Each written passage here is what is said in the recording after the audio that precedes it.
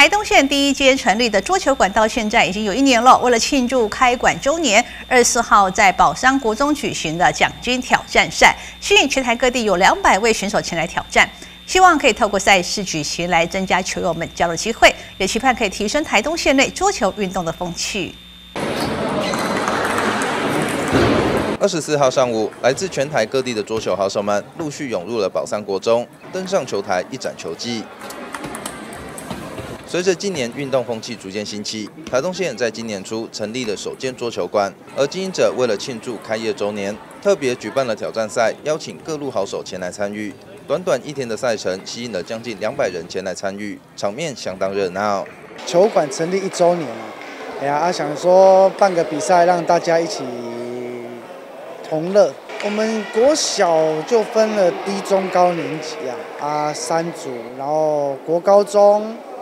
社会壮年大概我们有六组，啊，大概有一百六十位选手，有高雄，有花莲，还有到台北的也有。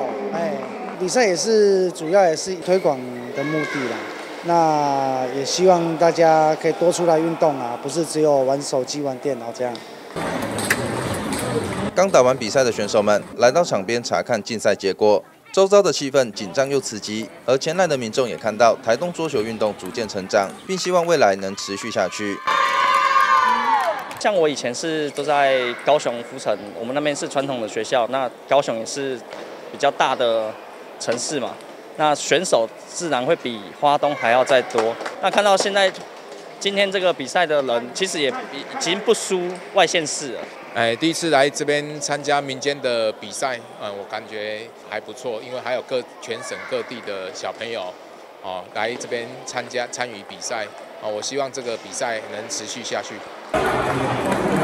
选手们接连上场较劲，展现出自己的练习成果。而这场比赛特别的是循环赛的比例较高，增加了选手之间切磋的机会，让参赛者都能打好打满，感受桌球的乐趣。